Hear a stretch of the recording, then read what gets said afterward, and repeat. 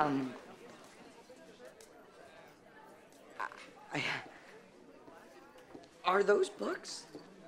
Um, yeah. Oh, I love books. I could read all day. Love them. Great. Then you're in the right place.